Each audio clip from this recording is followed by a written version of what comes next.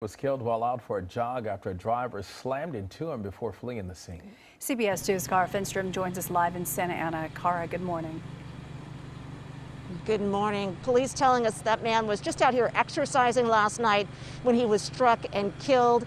Sergeant Keenan Blake tells our Dave Gonzalez that they're looking for a hit and run driver. Did the car ever stop at all? Do you know? Uh, the car stopped for a uh, second or two and then fled the scene. Santa Ana Dispatch says folks started calling in at about 11 last night saying a man had been struck and was lying in the street. Orange County Fire did rush out, but paramedics were not able to save his life.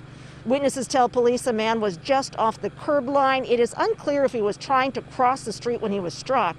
Sergeant Blake says anyone out exercising, especially in the dark, should take extra steps to protect themselves, like wearing bright reflective clothing and making eye contact with drivers if you are trying to cross the street.